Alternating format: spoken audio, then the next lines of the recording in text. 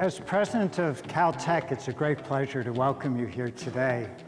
It's a great program that we have for you, or at least that's what uh, ChatGPT told me. Um, Hello, Caltech. How you guys doing?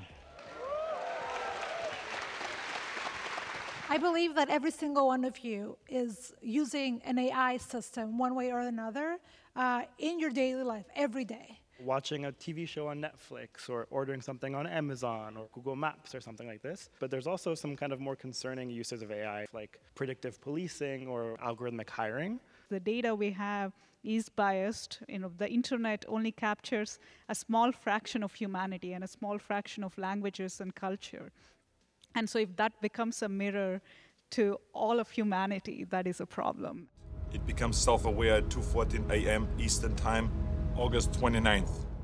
To the extent that a super intelligent AI system can exist in the future that can have the potential to cause a lot of harm, the manner by which it could cause that harm will not be anything like what's in these movies. You know? You think they're not going to send a governor back from the future uh, to try to kill. No. Okay. I mean, if I was going to be really like pedantic about it, they'll, they'll just um, you know freeze all of our bank accounts, and then the U.S. Ooh. economy would just stop to function. You're, This is great. You're just giving me more things to worry about. That's right.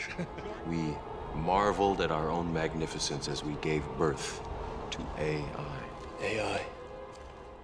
I think that there is an imminent threat. Uh, in, for our lives. Uh, and it's not AI, it's climate change. I'm more worried about climate change than any AI system, any chatbot, or any self-driving car.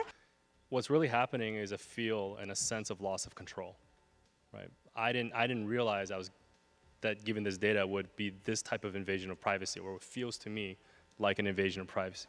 I think AI has progressed so fast that government kind of regulations have lagged behind. What's important is being curious and having an understanding of, oh, can they take over the job I'm doing today? Or maybe better, they can help me and be, make me more productive.